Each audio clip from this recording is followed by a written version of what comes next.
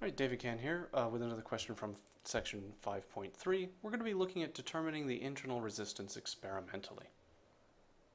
We have a circuit below. It was used to collect data on the internal resistance, little r, of the battery in the circuit shown here. So we have a EMF source and an internal resistance, and all of this would be part of the battery.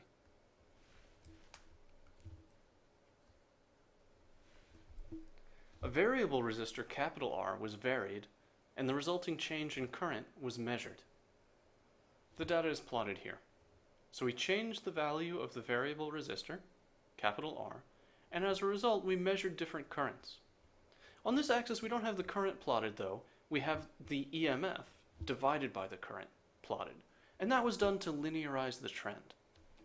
The reason we linearized the trend was because we can now use the linear trend to determine the internal resistance of the cell, little r.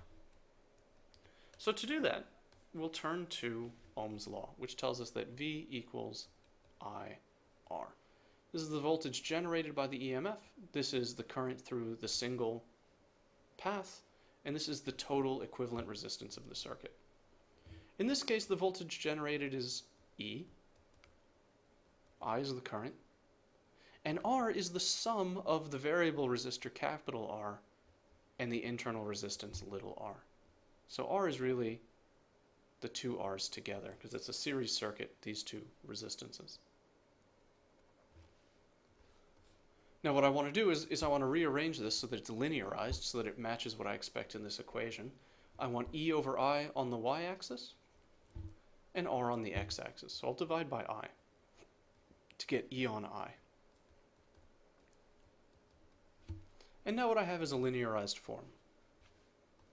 y equals mx plus c. y is e on i, x is r, m is 1, the slope should be 1, and r, the internal resistance, should be the y-intercept. So this allows me to say, therefore, r is equal to the y-intercept of the graph, which is 100.